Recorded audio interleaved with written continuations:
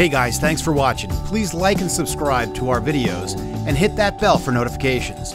Also, head on over to our Instagram page and follow us there, and check out our Facebook page for all our updated content. Thanks. Welcome to Cornell Marine Program's Digital Learning Podcast. My name is Rory McNish, and I'm the host of this show. I was thinking the other day about my oysters. I'm overwintering at the Marine Lab as a part of the SPAT program. I need to check on them after this winter. Maybe I can get Mr. C to help me clean my oysters again. Last year, we pulled my net, sorted the oysters, and we had a good time. We even produced our Spat Oyster podcast that day. Let's see if, and I mean if, Mr. C is willing to help me again this year after I pulled that empty shell trick on him last time. Hey, Mr. C. Hey, Rory. What's up? Hey, I was wondering if you would help me again with my oysters this year. Sure. I'd be glad to help if I get some real oysters this year instead of the empty oyster shells you gave me last time. Ah, come on, tell the whole story. I did give you a bunch of real oysters. Yes, you did. Uh, and they were real tasty. Hey, uh, remember that Shellabration video we did last December for the Back to the Bays program? Yep. Why don't we focus the show on the commercial oyster growers who work the Long Island Sound waters?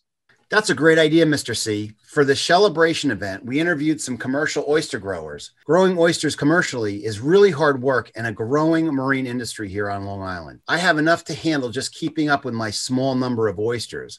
I can't imagine working with thousands and thousands of oysters. You know, we always talk about eating local fresh seafood. I like ordering local oysters at a restaurant when I get out. Guess where those oysters come from? Commercial growers. Yes, buying fresh oysters from a fish market is one of the perks of living here on Long Island, Mark. This is a blast from the recent past. Here's a video clip we produced for Shellabration last November with interviews from commercial oyster growers. So the next time you have a local oyster, you can appreciate the hard work that goes into providing you with a fresh, delicious oyster. This production originally aired as a part of our virtual Shellabration event, accessible by paid ticket holders. We encourage you to support the programs this virtual event supported and welcome contributions of any level. Please look in the description for our Back to the Bays links to online giving and links to the SPAT program for their online giving as well. Thank you.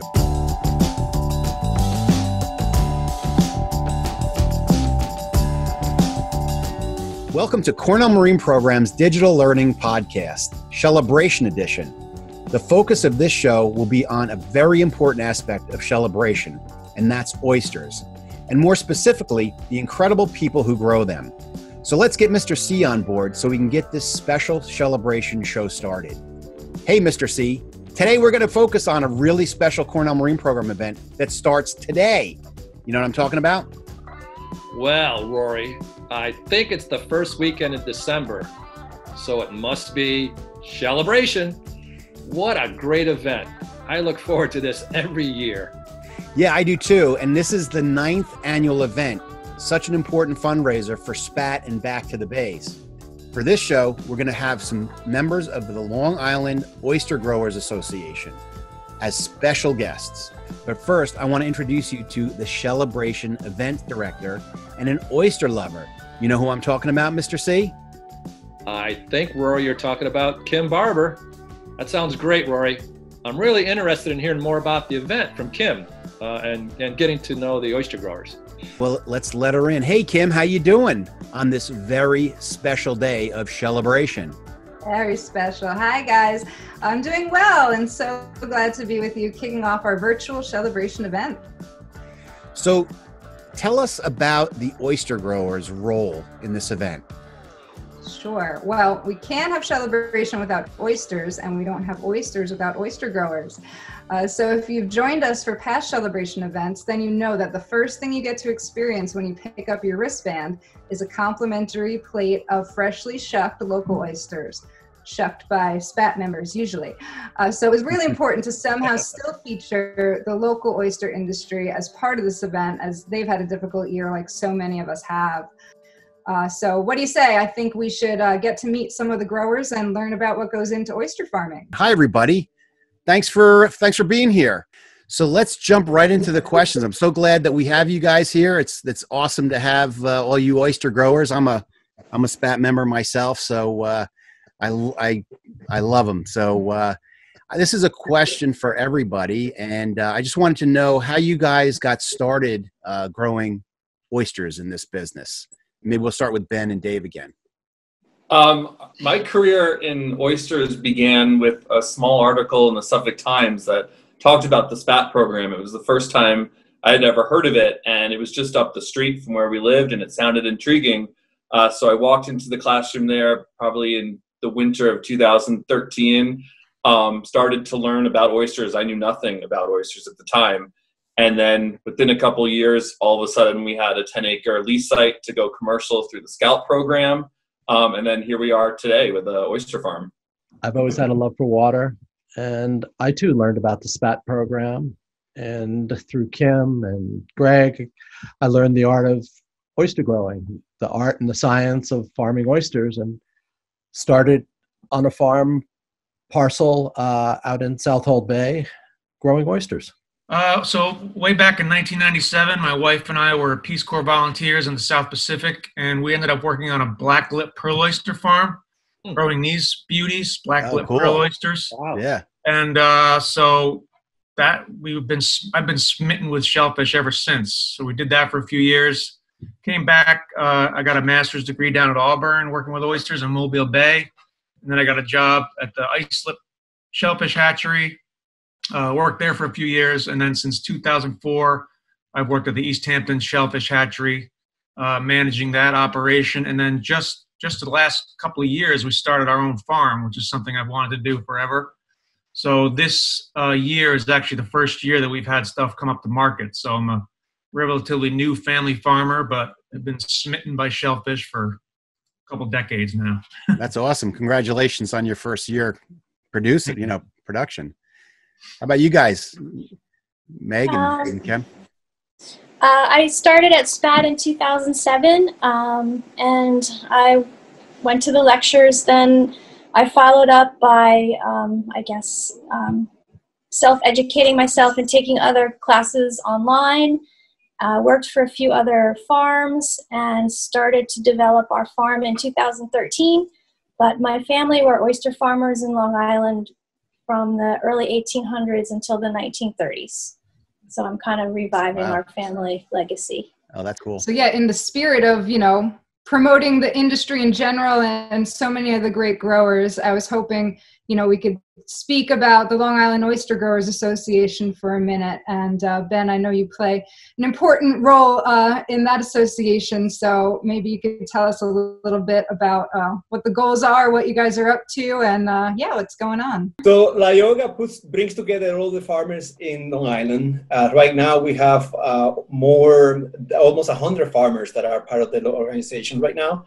And I, I, tell people that the uh, New York oysters went from being the best oysters in the world in the late 1800s to the best kept secret in the world. Mm. So people who knows about them knows about them, but every day you can finding people that oh I didn't know we had oysters in New York. We actually produce the best oysters you can find in the area.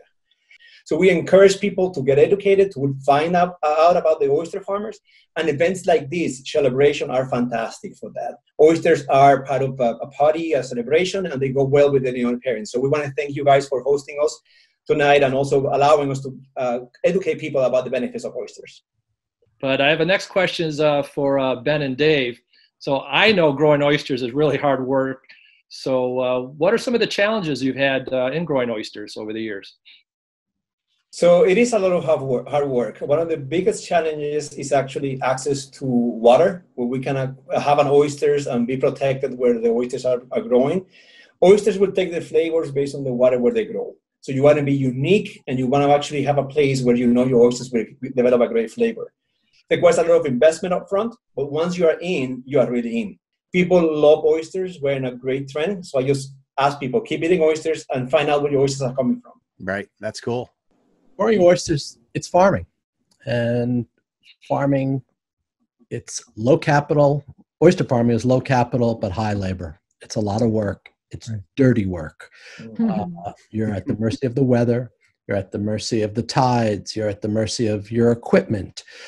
Um, so, key is being prepared for long, hard days of hard work. Gear is heavy, it's muddy, it's dirty, it's wet, sometimes it's cold, sometimes it's incredibly hot. That a lot of there are a lot of animals that cut into the oyster profit before you even haul them up to the deck, sort them, and bring them to market. You know, a day in the life on the farm is just like like Steve said. It's it's it's farming. It's labor intensive, but it's really enjoyable and really rewarding at the same time. Especially when, in my case, I'm doing it with my family, teaching my kids how to do it. Uh, my wife already knows the drill, so we're just out there trying to trying to work together, get through the day without me getting too too crazy, but uh, it's it's usually always a great day on the water. Oysters are a celebratory food, and it like it kind of brings people together. Um, and I also really just it's rewarding to be able to work outside and problem solve, and it's it's also an adventure, which is a really part of it is that's what I really enjoy about it. So Barley, why why did you want to participate in Shellabration in support of CCE Marine Program? Well, uh, firstly, the the sh- my shellfish reason. to, uh, That's a good one. I like that. to get my product and the name out, and uh, the altruistic reason is just to support CCE because you know without CCE you wouldn't have three of these growers on this board here. They're all mm-hmm. SPAT mm-hmm. members, and you so without CCE, you wouldn't have SPAT, and you wouldn't have the all the great support and knowledge that comes out of CCE. So it's a great organization, and I really think it's helped in getting the word out about our marine environment and shellfish and aquaculture. So I'm really happy to be part of it. I haven't been able to participate in the real thing up in Greenport yet uh, in the past few years. So this is the next best thing. All right. Well, this next question is, uh, is for everybody. So, as being uh, oyster farmers, I know you have a product to sell. So, uh, you know, where do you sell your oysters? Well, up until this year, COVID has taken a, a big hit mm. on all of us. Uh, I used to sell predominantly to restaurants, but restaurants have been impacted. So, as a result, chefs are not buying as many oysters. They're not setting up raw bars. That's been really difficult for most of the oyster farmers. Uh, although I have been pretty successful at selling at vineyards and at breweries uh, where I can actually sell retail, which is this, has been the sweet spot for me as a farmer to be able to shuck, serve, and chat up my oysters. Uh, yeah, I, I have. I feel like the community here of farmers have sort of been really helping each other. So we're we're at another farm who started a pop up farm stand, and uh, I, we've done a few pop ups like Steve, which has been really fun. But they are a lot of work, I have to say. And I've I've maintained some of my my chefs in the city, but they they are really struggling. Yeah, in um, in normal times when it's not a pandemic, um, we do sell a lot um, direct to customer. We are a smaller boutique oyster farm, so between pop ups at vineyards, um, also at our farm tours um, and special events as well. That's where we would sell the majority of our oysters. Um, but what has been really impressive this year is um, you know the customers people really love their oysters so when restaurants were closed and when people couldn't go out um, i was really impressed with how many people were willing to just um, be adventurous and learn how to shuck at home and come pick up from our self-serve stands hmm. um, bring the oysters home and enjoy them that way. You almost you know can't keep the really passionate oyster eaters oyster eaters away from oysters. And, and they came out in a big way uh, to help us. And for a lot of this summer the self-serve oyster stand was the only way we could sell oysters. We want to hear from you. What are your favorite ways to eat oysters we make a homemade cocktail sauce, which is fantastic. So you take Saddleback oysters without Saddle caustic sauce. A recipe is online if you guys want to get it and make it at home. Personally, I like my oyster straight out of the water, nice, with nothing on it, because oysters they have the terroir. Wine has the terroir where they grow, the land that they grow in, the soil that they grow in. Water, the oysters take the flavor of the water they grow in And the Peconic Bay is a wonderful body of water. It has a delicious taste, and I personally don't like to mess up the flavor of the natural oyster. Uh, I like to keep it simple too, just fresh, cold, and with a little shot of lemon, or just on the grill until they pop. I love big oysters cooked on an open fire, and I put all sorts of things inside of them. That's good too. I like that. What sorts of things? What's your favorite? Bacon, wine, pesto, cheese. I mean, you can really put anything in there. It's, it's like my favorite way to eat them. So before uh, Kim uh, wraps us up with a, a final question, uh, is there any other information you'd like to share with us uh, and the viewers? Um, I mean, everybody's everybody's heard it. You know, that's just to be proud to grow them and proud to eat them because you know they're a. I don't want to get too technical, but you're eating a low trophic level animal that requires very little inputs. It's a really green form of protein, and we just can't overlook that. You know, there's they're out there providing habitat, they're filtering the water, removing excess nutrients, and it's just you know, there's really nothing bad about it. The more oysters you eat, the more you help clean the bays. Yeah. No, that's I a really never big. miss an opportunity to remind everyone that every oyster filters 50 gallons of water a day. Mm-hmm. So when you're supporting your local oyster farmers, you're also supporting uh, your local water quality. So please uh, eat oysters, save the world. So 80% of seafood in the United States, even if a portion of that is caught here, it's it's exported to another country and then processed and then um, shipped back to the United States. And 20% of uh, seafood in the United States is actually farm raised or grown in, in an aquaculture setting. And I really think it's important for us to buy local um, seafood and support our economies and our communities.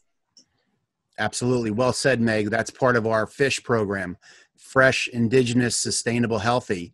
And we're trying to get people to purchase from you guys, purchase from our local fisheries and stuff so we don't have to export it and then import it again. So uh, thank you for bringing that up. Yeah, thanks, guys. I mean, this was really interesting, and uh, I loved hearing your stories and and some of the struggles that you guys have been through. I mean, it's it, like you said, it's hard work. I I do like uh, four lantern nets a year, and uh, and I go home and I'm I'm spent, you know. So I couldn't imagine doing it full time. Uh, be safe out there. We uh, respect and appreciate everything you do, and thanks again for participating tonight. Go celebrate. Yeah. Thank you very much. Thank you, guys. Thank you, Thank you. Well done. That was great to hear from our local oyster growers and learn how much work is involved in the dedication they have to this industry. Yeah, Rory. Next time I slurp a raw oyster, I'll have a greater appreciation for all the hard work uh, that goes into growing oysters. Now that's our show for today. Thanks again to Kim and the oyster growers for joining us, and thank you for your support of Cornell Marine Program through participating in this event. We really appreciate your support, especially through this year.